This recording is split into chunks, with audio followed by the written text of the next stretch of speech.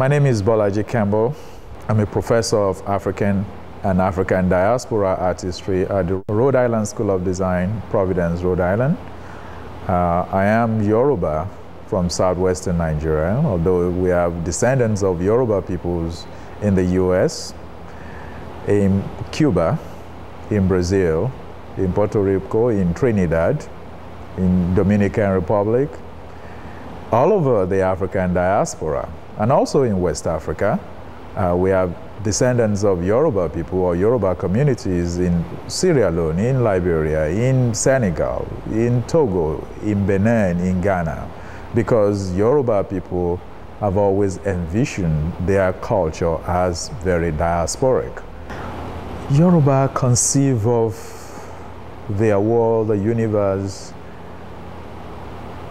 as embracing the world of the living, as well as the reality of the unseen presences of the ancestors or the departed who are still exerting a lot of influence in the cultural traditions of Yoruba people.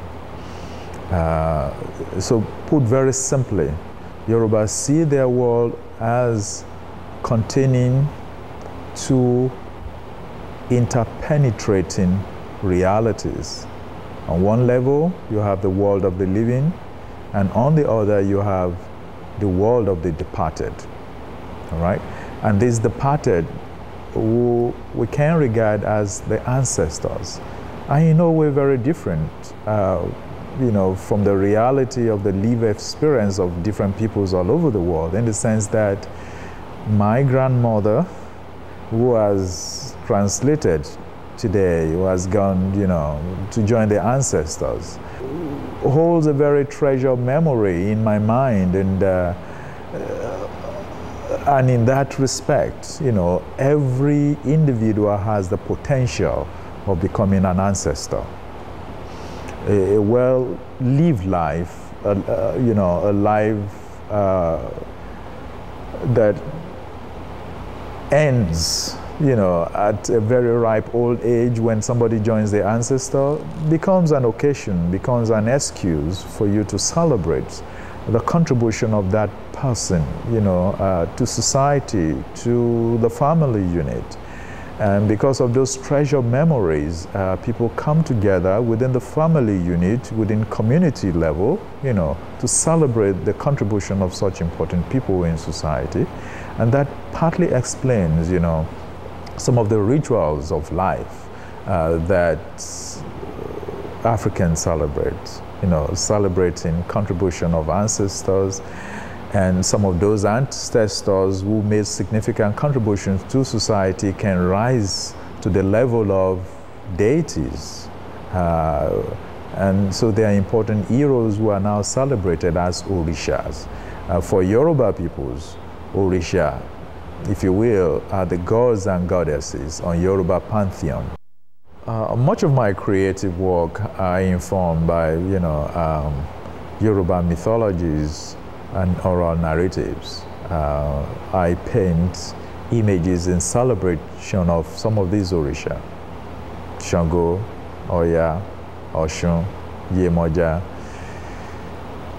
Ibeji, these are paintings that I created specifically as a kind of homage, as a kind of celebration of the contribution of some of these important divinities uh, in Yoruba universe. I look, uh, I can start, you know, with Shango, for instance. Uh, the fourth Alaafin of Oyo, though Shango was legendary, uh, he is regarded as the god of thunder, and it was supposedly very tyrannical, you know, fourth king of one of the last of Yoruba kingdoms, Oyo Empire. Shango was very tyrannical, he was very brutal, but he was very ambivalent. He was also protector of the vulnerable, the disenfranchised, you know.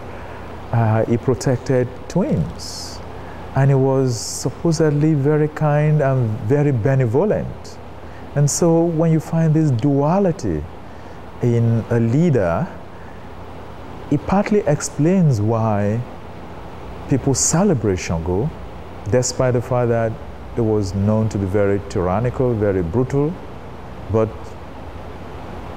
they celebrate him because he was taught to be beautiful.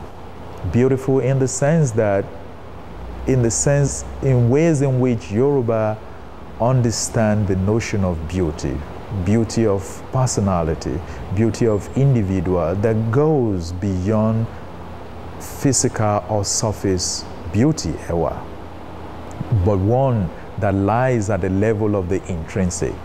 When you celebrate people's character, their personality, and I think in essence that's what Yoruba people are celebrating. Iya is the Yoruba word for mother.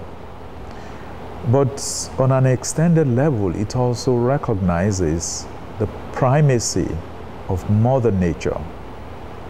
And this is one of the reasons why Yoruba celebrates Iyanla, the Great Mother, Mother Earth, who sustains our own.